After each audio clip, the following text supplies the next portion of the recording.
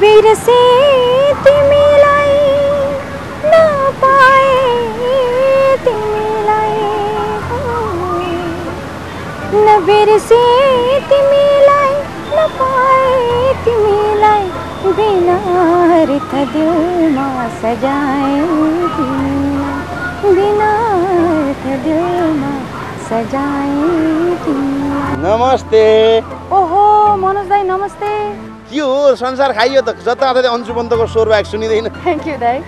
झन् दाईको त के कुरा गर्नु र? कहिले प्रधानमन्त्री कहिले उपराष्ट्रपति कहिले राष्ट्रपति कहिले ज्ञानेन्द्र कहिले प्रचण्ड।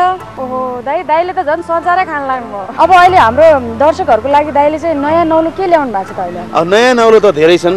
अब दर्शक भन्दा पनि अन्जुका लागि अब त्यत्रो गीत सुनिहाल। म पछाडि बसेर सुन्दै थिएँ कि? अन्जुको लागि एउटा- सौभाग्य। हजुर। भगवानको जनसङ्ख्या तेत्तिस कोटी। तेत्तिस कोटी भनेको कति? तेत्तिस करोड। भगवानको जनसङ्ख्या तेत्तिस कोटी मान्छेको जनसङ्ख्या साढे दुई कोटी। भनेपछि तपाईँ आफै बुझ्नु तेत्तिस कोटीलाई खुवाउँदा खुवाउँदै साढे दुई कोटी भोकै मर्या हो कि नै रहेछ?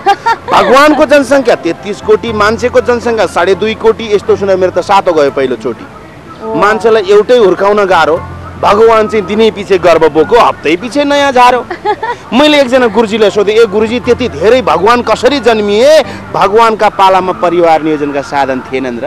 वाउ दाई कस्तो राम्रो। एकदमै राम्रो प्रस्तुति दिनुभयो तपाईँले त। तपाईँ हामी सांस्कृतिक कार्यक्रम लिएर युके जान पाउँदाखेरि एकदमै खुसी लागेको छ दाई मलाई। मलाई चाहिँ लागेको छैन होला त। हजुर हामी युकेमा आउँदैछौँ सेप्टेम्बर पाँच र बाह्रमा। स्वादिला प्रस्तुतिहरू लिएर होइन त? साँच्ची ठाउँ कहाँ अरे? सेप्टेम्बर पाँचमा प्रिन्सेस हल अल्डर सर्ट अनि सेप्टेम्बर बाह्रमा फक्सटनमा हेर्न नछुटाउनु होला। सहारा क्लबको सहयोगार्थ तपाईँको सहर लन्डनमा एउटा भव्य सभ्य शिष्ट र विशिष्ट सांस्कृतिक कार्यक्रम। म अन्जु पन्त र म मनोज गजरेलको साथ।